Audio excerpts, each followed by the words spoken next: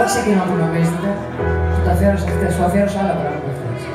Σήμερα θέλω να, επειδή ζήσαμε πολύ ωραία σε όλη αυτή την περίοδο ετοιμάζοντας αυτό το γλυκό μέρος, είχα μια υπέροχη συνεργασία, νομίζω την καλύτερη, όχι νομίζω, τώρα από ευγένεια, στα αλήθεια την καλύτερη που είχα ποτέ στη ζωή μου, ίσως γιατί ήμουν και σε αυτή τη φάση, την πιο όρημη, ξέρω πολύ καλά πια τι θέλω μετά από 40 τόσα χρόνια. Στον καθένα από τους συνεργάτες τα παιδιά τους μουσικούς, τους φίλους μου, για όλα όσα περάσαμε και περνάμε ακόμα και θα περάσουμε.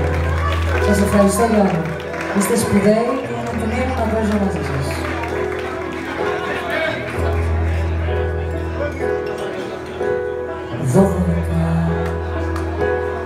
Φυτέ ένα τηλεφώνημα.